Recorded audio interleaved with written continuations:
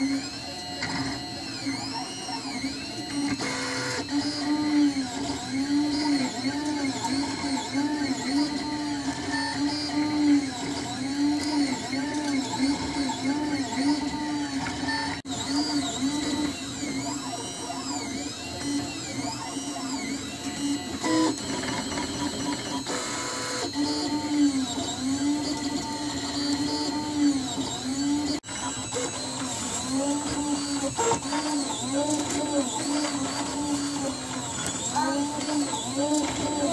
you.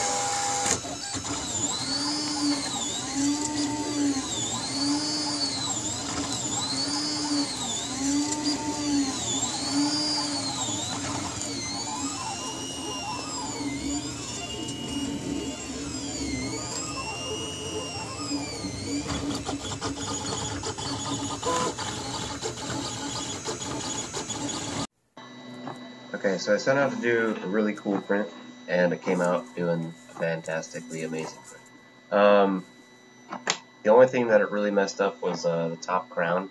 I'll show that to you in a second. But if you look, like, in the video, it's amazing how it printed that top story just like over nothing. Um, there's a little bit of a tiny mess up um, right here on the, the right side of the top story. Um, but, I mean, it when it printed over, it was it was perfectly. You can't even really tell unless you look underneath. There's a little bit of a mess up. Um, here was the first crown piece that goes on top that got messed up. I think it was just an issue of the filament not getting heated up quick enough.